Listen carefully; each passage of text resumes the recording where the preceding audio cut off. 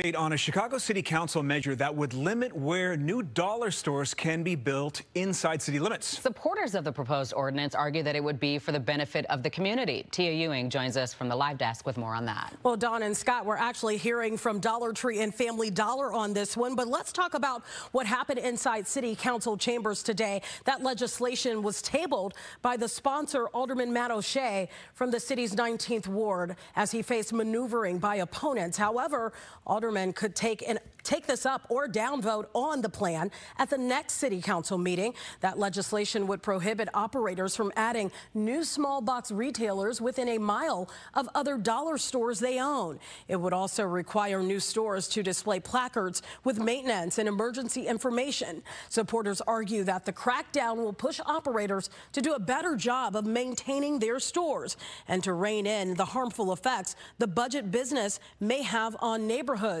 Fox 32 did receive a statement on behalf of Dollar Tree and Family Dollar in response to this proposed ordinance, saying in part, quote, that it will limit one of the few low-cost, high-value options for essential household goods and force residents to travel further and likely pay higher prices. Those against the proposed ordinance say preventing new dollar stores would make it harder for low-income residents to get access to essentials, some calling it an overreach by city council. Of course, we'll bring you the latest here on Fox 32 as soon as we have an update. Scott? Tia, thank you for